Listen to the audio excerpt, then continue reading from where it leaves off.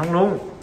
พบพนักงานสอบสวนแล้วเป็นยังไงบ้างวันนี้ ก็ได้ความสบายใจค่ะของพวกเราแล้วก็น้องๆด้แต่วยก็ค่ะยังแต่ก็ยังมีความกังวลวิตกกังวลครับ แต่ว่าพอเรื่องถึงตำรวจแล้วเราก็สบายใจมากขึ้น ครับ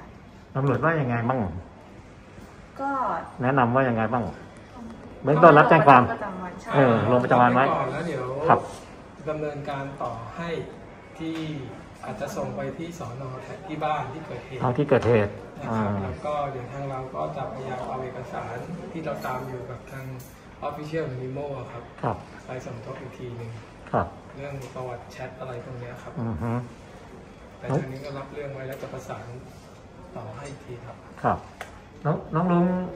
อยากจะบอกอะไรกับ FC ของเราบ้างในเรื่องนี้ ที่เขาอับแสดงความเป็นห่วงของเราตรงเนี้ย โอ้ขอบคุณมากมากๆขอบคุณมากมากๆจริงๆเลยนะคะ เออพูดพูดพูดพูดพูดกับแฟนแฟนคลับเขาหน่อยไม่ต้องมาไลฟ์สดแล้วตอนนี้ไลฟ์ผ่านมือถือพี่ บอกว่าขอบคุณแฟนๆมากเลยนะคะ ที่เป็นห่วงพวกเราแล้วก็เป็นห่วงลุงแล้วก็น้องๆทุกคนด้วยนะคะ ก็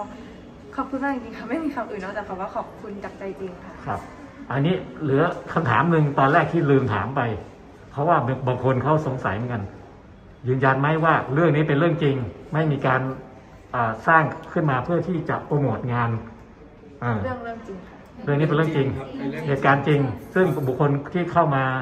เข้ามาแสดงความเห็นในข่มขู่ตรงนั้น เราไม่รู้จักใช่ใช่กลัวเออจริงๆตัวเรากังวลจริงๆนะใช่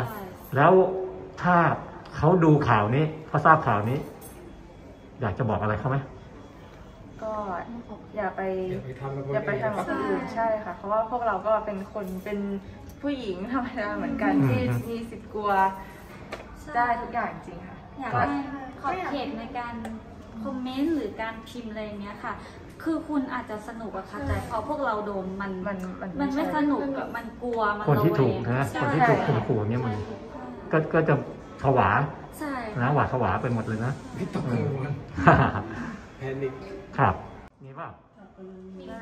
ไม่สมเหมาะสไม่มเหมาะสมกับกับณเวลานี้ อ่าโอเคได้ครับ ขอบคุณมากเลยค่ะจ้าวันเจวันเจวันเจ